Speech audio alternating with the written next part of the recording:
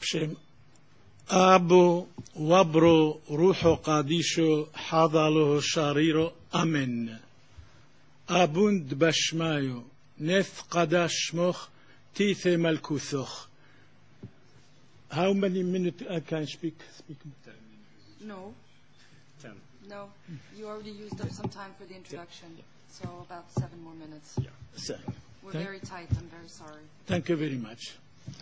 Je dois vous parler en français, si vous voulez. La liberté d'expression et la charia, M. Hansen a bien parlé. J'ai vécu 35 ans dans les pays musulmans, arabes musulmans. J'ai étudié l'islam euh, presque 40 ans. Je suis arrivé ici, j'ai eu le malheur de dire une mosquée en Europe, c'est pire que le nucléaire.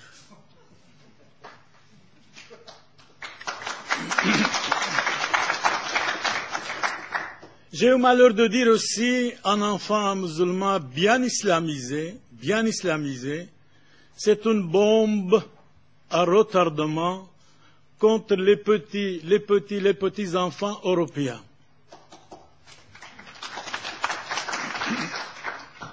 L'égalité des chances ou de malchance, on m'a attaqué, porté plainte contre moi. Le procès a duré presque six ans. J'avais quatre avocats. Et heureusement, nous avons gagné. Et les bien-pensants, les journalistes, les journalistes européens étaient fâchés. Pourquoi nous avons gagné? Ils étaient vraiment fâchés. Ils pensaient qu'on va être condamnés. Ils pensaient qu'ils vont fermer notre bouche, c'est-à-dire la liberté d'expression. Je crois M. Hansen a bien parlé de la charia. J'aime bien aussi parler deux ou trois mots encore sur la charia. La charia, c'est contre les athées, les juifs, nos amis juifs, et les chrétiens. قاتلوا الذين لا يؤمنون بالله ولا باليوم الآخر وما حرم الله ورسوله Combattez, tuez tout homme qui ne croit pas en Allah, c'est-à-dire au Dieu des musulmans. Chapitre 9, verset 29. Chapitre 9, verset 29 du Coran. En ce qui concerne nos amis juifs, le Coran dit, chapitre 31, verset 61, ça, c'est la charia. Qu'ils soient maudits, tuez-les partout vous les trouverez impitoyablement. En ce qui concerne les malheureux chrétiens, sont des infidèles. Lorsque vous les rencontrez, ou bien tuez-les à point d'en faire un grand carnage. Chapitre 47, verset 4 du Coran. Et ça, c'est aussi la charia les paroles de Mahomet, les hadiths.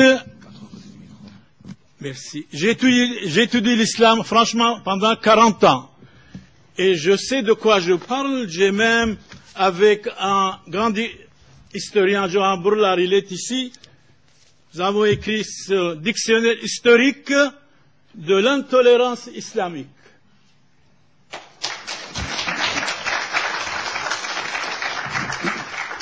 Deux mille pages. Donc, deux mille pages. Quand nous parlons, nous savons de quoi il s'agit. Nous savons de quoi il s'agit. Batiaor, que nous aimons beaucoup, elle a écrit dans cette préface de ce livre extraordinaire dont on a étudié plusieurs années, Batiaor nous dit, témoignage de Batiaor pour le monseigneur Père Samuel Boniface. Pour le Père Samuel, mon frère, dans la dhimmitude, nous sommes des dhimmis, si nous voulons ou pas. Mon frère, dans la dhimmitude, qui a ressenti, expérimenté, étudié les souffrances de la dhimmitude et n'a pas eu peur d'en parler au nom des persécutés.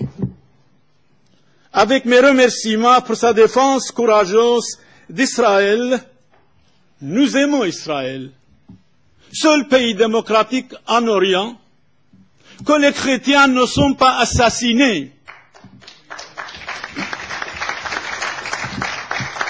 que les chrétiens sont libres, tandis que dans tous les autres pays islamiques, les chrétiens n'ont pas la liberté même de vivre d'expression, souvent sont massacrés, insultés, calomniés.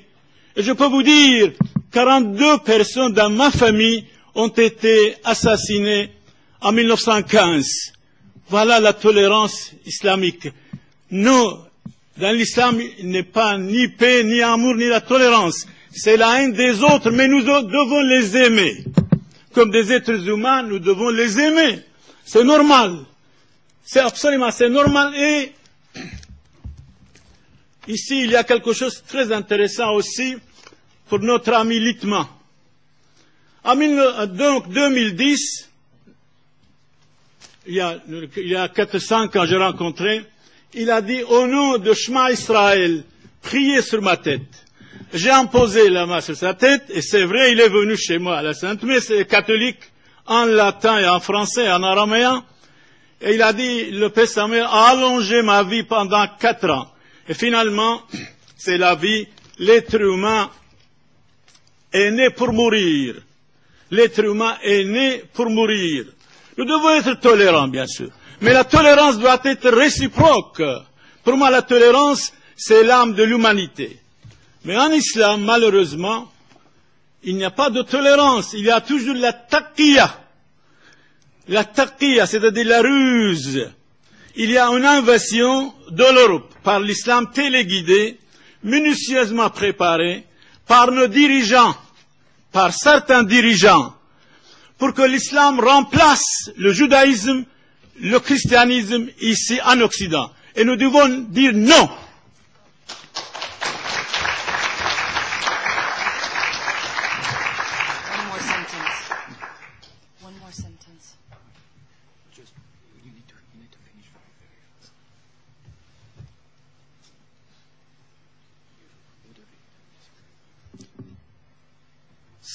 Il est venu chez nous, il a lu un chapitre en la bénédiction, que Dieu bénit Israël. Et je lui ai dit, Jésus a dit dans l'évangile, chapitre 4, verset 22, le salut vient des Juifs. Jésus-Christ a dit dans l'évangile Saint Jean. Voilà, Bethiaor, de notre côté, Litman, à notre côté, et il va lire, malheureusement, il n'y a pas de voix. Il était enchanté j'ai parlé gloire au peuple d'Israël, un État démocratique en Orient au milieu de 300 millions musulmans. C'est énorme, de 300 millions musulmans, seul pays démocratique, seul pays que les chrétiens sont libres, seul pays que les chrétiens ne sont pas assassinés, mais malheureusement, les médias occidentaux attaquent injustement tout le temps Israël. C'est honteux.